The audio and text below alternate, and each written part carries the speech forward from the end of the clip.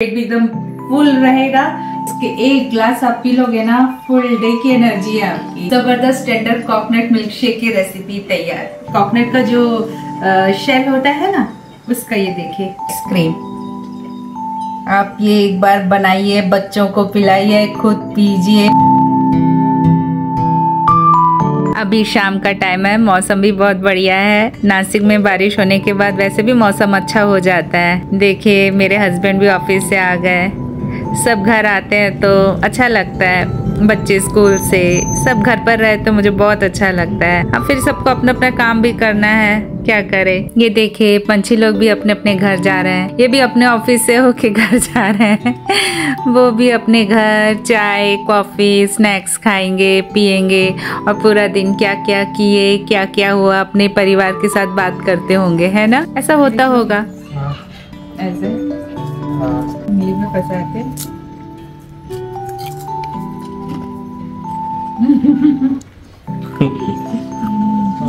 इसको अचपन बोलते हैं। ये मलयाली स्नैक है। ये मैं बनाती हूँ। ये तभी खरीदा हुआ है। अच्छा डिज़ाइन है ना? हाँ। मुर्क पकवाड़ा मिक्सचर मदरसेवा। और क्या? और क्या बनाती है मम्मा? बॉली पपड़ा। हम्म, ये सब बनाती हूँ। मैं आपको दिखाऊँगी। धीरे धीरे स्नैक्स के आइटम भी आपको दिखाऊँगी। मैं उन्नी अप्पम और क्या है? और क्या बनाती है मम्मा? हाँ, और भी मुझे याद नहीं आ रहा है। ऐसे और भी बहुत सारे स्नैक्स बनाती हूँ। आपको हम्म। दिखाऊँगी मैं। कि शुभम बनाएगा कॉफ़ी बना दूँगा? कॉफ़ी भी बहुत ज़बरदस्त है। हम्म, बना बना दूँगा? अब बनाएगा तो अमन से डेली चाय बनवाएँगे। हम्म है कि नहीं? हाँ। और कुछ तो बनाना आता नहीं है। प्लीज़ वो तो बनाए। घर पे आए तो कुछ तो करे है ना?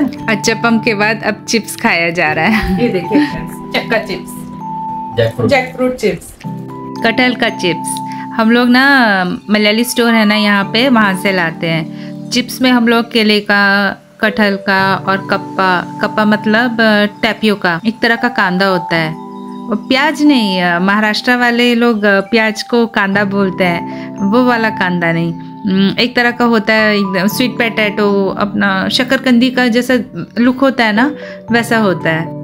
और ये देखिए मैंने दूध तीन पाव दूध होगा ये इसको फ्रीज करने के लिए मैं फ्रिज में रखने जा रही हूँ। और ये देखिए इसके ऊपर जो ढक्कन है ना सिलिकॉन ढक्कन है। इसको एक बार ऐसे बंद करो तो ये गिरेगा भी नहीं हम ऐसे कैरी भी कर सकते हैं। फिर भी मुझे थोड़ा डर लगता है कांच का है ना फिर भी गिरा नहीं।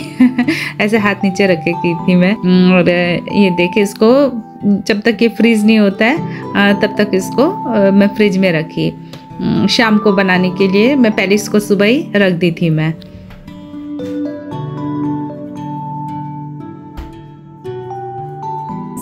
हाय फ्रेंड्स कैसे हैं आप लोग? वेलकम टू दीपा स्टे ये देखिए, फिर से मैं टेंडर कोकोनट की एक और रेसिपी लेकर आई हूँ।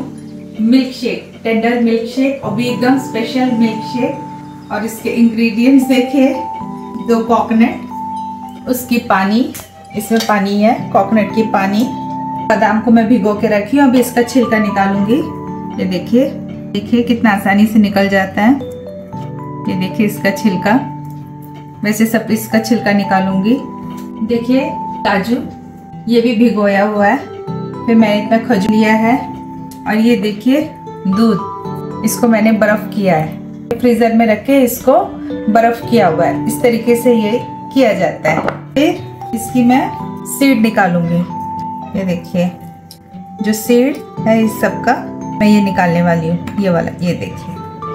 मेरी जो टेंडर कोकोनट वाली, जो पिछले वाली जो ड्रिंक थी टेंडर कॉकनट ड्रिंक आप लोग ज़रूर देखिए वो वाला ड्रिंक बहुत लोगों को बहुत पसंद आया वाला ड्रिंक और मेरे कुछ फ्रेंड्स लोगों ने कहा कि आप जो मिल्क शेक की बात कर रहे हो तो वो मिल्क शेक भी बना के दिखाओ करके। तो इसलिए मैं ये आज ये वाली रेसिपी लेकर आई हूँ। ये भी एकदम सुपर टेस्टी और हेल्दी है ये। क्योंकि इसमें सारे नट्स भी डले हुए हैं। आप एक बार ये पी लोगे, फिर आप निश्चिंत हो जाओगे। आपको भूख भी नहीं लगेगा, पेट भी एकदम फुल रहेगा। इसके एक ग्लास आप पी लोगे ना फुल डे की एनर्जी है आपकी। तो आप ये शाम को बना के पीजिए मॉर्निंग में ब्रेकफास्ट में आपको बना के पीना तो पीजिए। कभी भी एनी टाइम इसको पी सकते हैं। अब ज़रूर बनाना। अब देखिए इसकी रेसिपी कैसे है। और ये देखिए, मैंने बादाम छील लिया है। काजू भी मैंने इसमें से पानी से निकाल लिया है काजू को। और खजूर का भी मैंने सीड्स निकाल लिया है। और ये देखिए कोकोनट ऐसे कटवा के लेकर आए हैं ना। इस तरीके से पीसेस रहेगा ना तो अच्छा रहेगा। क्वांटिटी थोड़ा ज़्यादा रहेगा। और टेस्ट भी आता है। एकदम जो नरम नरम वाला रहता है ना तो वो कुछ नहीं रहेगा। मतलब उसमें इतना ज़्यादा ये नहीं रहेगा। इस टाइप का कोकोनट रहेगा तो ज़्यादा टेस्टी रहेगा। और ये इसी नारियल का पानी है। ये और ये वाला दूध फ्रीजर से निकालियो अभी देखिए पिघल गया ये। अभी इसको डालने में भी इजी रहेगा मिक्सर जार में। चलिए अब इसकी नारियल की ये मलाई निकाला जाए। ये देखिए कितना आसानी से निकल जाता है। इजी है ना ये तो? नरम है एकदम। आपको मैं एक और स्पेशल शेक एकदम डिफरेंट शेक की मैं रेसिपी लेकर आने वाली हूँ। वो भी मैं आपको बताऊँगी। अब देखिए, अगले बार एक अलग ही शेक है वो। चलिए अब टेंडर मिल्क शेक बनाया जाए। सुपर टेस्टी मिल्क शेक बनाया जाए। तो मैं पहले मलाई डाल रही हूँ इसमें। खजूर डेट्स कैशनट काजू। ये देखिए, छिला हुआ बादाम। बादाम डालने के बाद थोड़ा पानी डाल के पीसूँगी ताकि ये पिस जाए। देखिए, मैंने इतना शुगर लिया है। वो भी डाल शुगर भी मैंने इसमें डाला। डाल के, देखिए, मैं इतना सा पानी डाल के बाद में डालूँगी, ताकि पहले ये पिस जाए। इसलिए मैंने इतना डाला।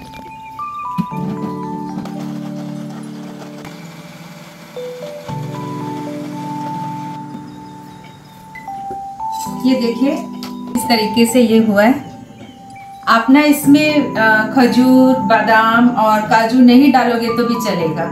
सिर्फ़ ये दूध डाल के भी शेक बन जाता है और बहुत टेस्टी बनता है। और नट्स वगैरह डाल देते हैं ना तो टेस्ट और एनहेंस हो जाता है। तो इसलिए मेरा कहना है कि आप ज़रूर डाल के एक बार देखिए और नहीं डालोगे तो भी चलेगा, पर ज़रूर डालिए। तो हेल्थ वाइज भी बहुत अच्छा है टेस्ट वाइज भी एकदम सुपर रहता है। इसमें जितना भी नारियल पानी बचा हुआ था, वो मैंने इसमें डाल दिया। और ये देखिए आइस वाली। अब ये थोड़ी सी पिघल गई है और वो मैं इसमें डाल रही हूँ। ये देखिए, एक बार मैं इसको क्रश कर लेती हूँ। और ये देखिए फ्रीज किया हुआ दूध। ये देखिए, अभी भी बर्फ़ है, अभी थोड़ा सा पिघल गया है। और वो अभी मैं इसमें डाल रही हूँ।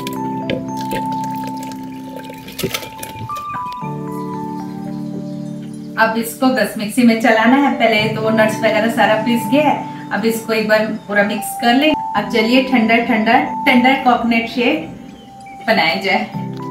इसको फिर से एक और बार मिक्स किया जाए।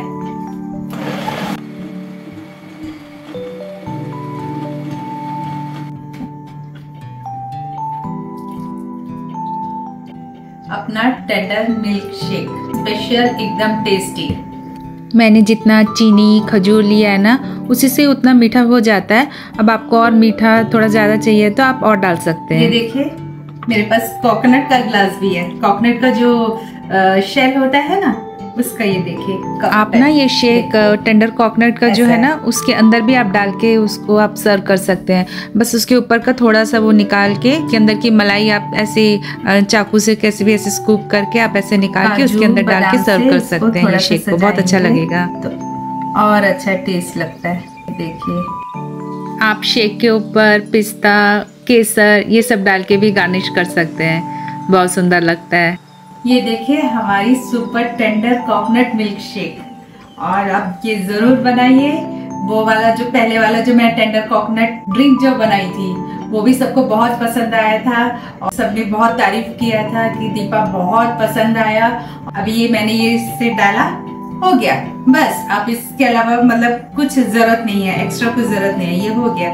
पर इसका टेस्ट और एनहेंस करने के लिए एक एक स्कूप वनीला आइसक्रीम आप ये एक बार बनाइए, बच्चों को पिलाइए, खुद पीजिए, मेहमानों को पिलाइए।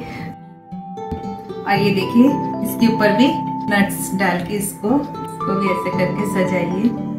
एकदम सुपर टेस्टी मैंने इसमें थोड़ा सा बादाम और थोड़ी सी काजू। ऑप्शनल है। आपको चाहिए तो आइसक्रीम डालना है, डालो। नट्स ऊपर से डालना, नहीं डालना। जैसा भी आपको करना है करो। और ये एकदम टेस्टी है। ज़बरदस्त टेंडर कोकोनट मिल्क शेक की रेसिपी तैयार। आइए आप लोग हमारे साथ टेंडर कोकोनट मिल्क शेक की रेसिपी एंजॉय करिए। वाह क्या बोलूँ मैं? एकदम सुपर गर्मियों के लिए तो अच्छा है ही। एनी टाइम अच्छा है ये। आप ज़रूर ये बनाइए, पीजिए, पिलाइए और तारीफें पाइए। दीपा स्टिल देखते रहिए। आप नए हो तो ज़रूर सब्सक्राइब करिए। वीडियो अच्छा लग रहा है तो लाइक करिए और नोटिफिकेशन वाला बेल दबाइए ताकि मेरी कोई भी नई वीडियो आपके पास आए तो तुरंत पहुँच जाए।